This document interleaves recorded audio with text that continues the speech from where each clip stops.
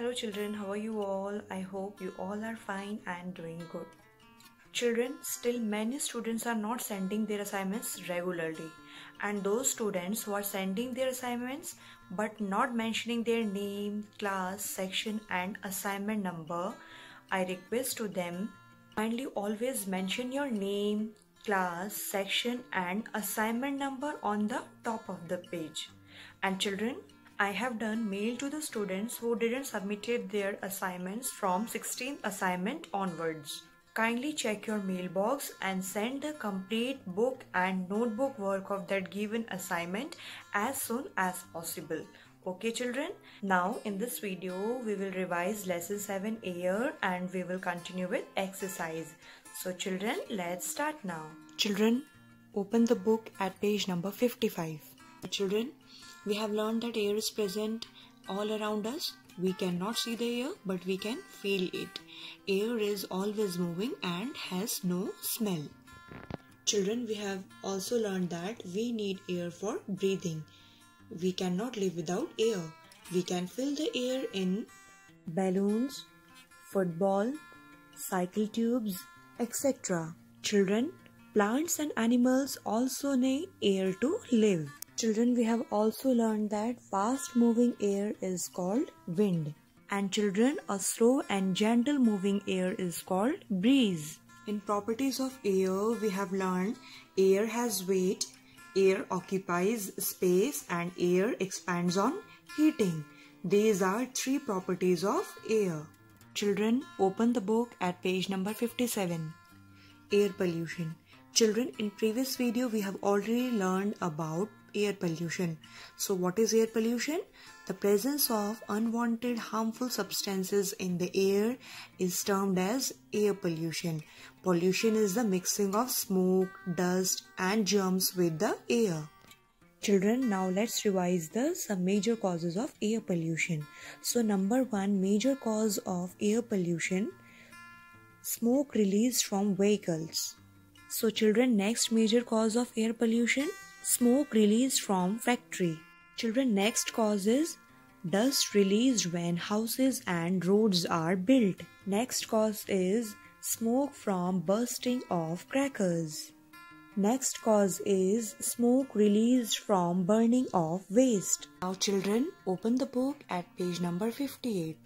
Children next is ways to reduce air pollution. We have already learned that air pollution is harmful for all of us. It causes many breathing problems, irritation in eyes, skin problems, infection of lungs and throats. Polluted air also affects the health of animals. Therefore, it is very important to reduce air pollution. Children, now let us revise some of the ways by which we can reduce air pollution. Number 1. Plant more and more trees in the surroundings. Next is use public transport to travel from one place to another.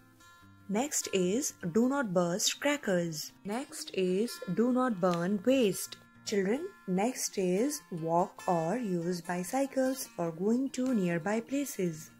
Children, next is airborne diseases. Germs present in the air spread many diseases. The diseases that spread through air are called airborne diseases. So, children, breathing in impure air is not good for our health and can make us sick. Hence, we should always breathe clean and fresh air.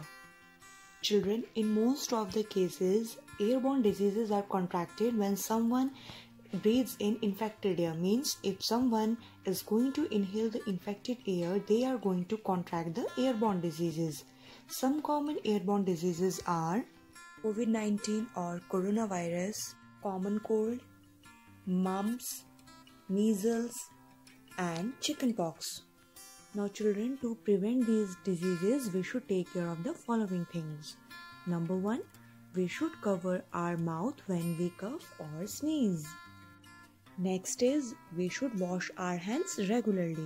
Children, next is we should cover our mouth with a mask while going out. Children, take out your EVS Sphere notebook.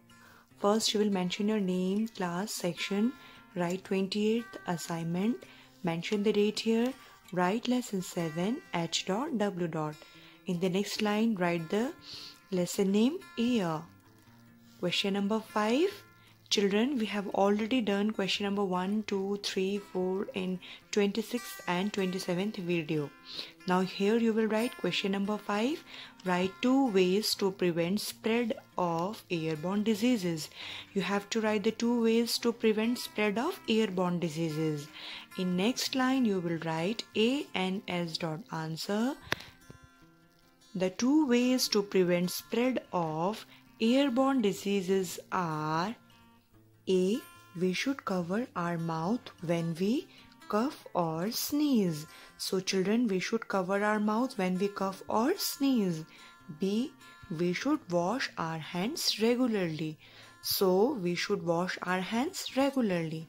Now, come to the next question. Question number 6 QUE dot 6.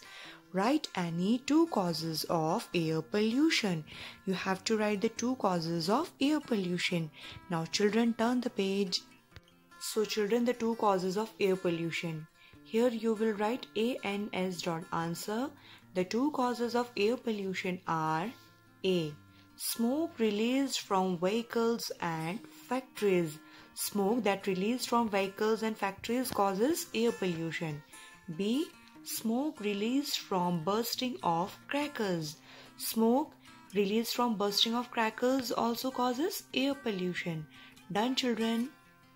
Now, children, open the book at page number 58. Here you will mention the date, write 28th assignment, your name, class, section. Now come to the question, fill in the blanks. You have to fill up these blanks. Number 1, Cars and factories produce. Yes, children, tell me cars and factories produce. Very good, children. Smoke. Cars and factories produce smoke. Here we will write smoke. Spelling of smoke S M O K E. Smoke. Done, children. Number two. Bursting of crackers cause. Yes, children, tell me bursting of crackers cause. Very good. Pollution. Burst Number two, bursting of crackers cause. Yes, children, tell me bursting of crackers cause. Very good, children. Air pollution. Here we will write air pollution. A I R air. P O double L U T I O N pollution. So, children, bursting of crackers cause air pollution. Done. Now, come to the next number three. We should plant more and more dash to reduce air pollution. So we should plant more and more trees. T R W E S trees to reduce air pollution. Done children. So children in this video we have revised properties of air air pollution ways to reduce air pollution and airborne diseases so children you have to do the same work as I have done in the Fair notebook. Send your assignments on given time. So children, we'll see you in next video. Till then, take care. Thank you.